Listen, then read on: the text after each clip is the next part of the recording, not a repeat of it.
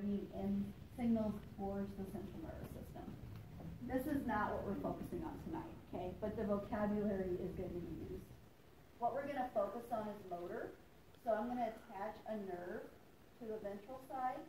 All the cell bodies in a motor nerve are going to be within the gray matter. So all the axons here just make a nerve. It is motor, which means the signal is going away from the central nervous system.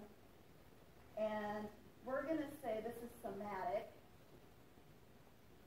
So what type of muscles are we contracting if it's somatic?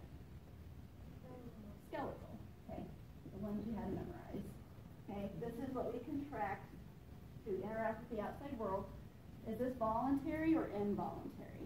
Voluntary. Voluntary, very good. Okay, so now let's make another slice of the spinal cord. And again, we're just going to look at motor responses. So we have one here. These are cell bodies. Here are axons. Okay, so let's look at what happens when we have an involuntary response to our internal organs. So what happens is you actually have two nerves or two axons, however you want to think of it, connected together. The first one is going to stop, and then the second one starts at the ganglia that begins the next one.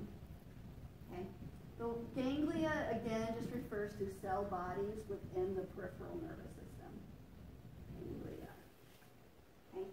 So finally, we get to the end, and we innervate an internal organ like your heart. Okay? So what would we call this type of response? Is this voluntary or involuntary? Involuntary. Involuntary. What's this word that starts with letter V that means internal organ? Visceral. It's visceral. Good. Okay. So a couple things going on here. It's still a motor pathway because it's exiting out the front of the spinal cord. Okay. But if it's voluntary, we're going to the skeletal muscle. We call that somatic. If it's involuntary, it's visceral to an internal organ. And we have two different nerves or axons, however you want to think of it.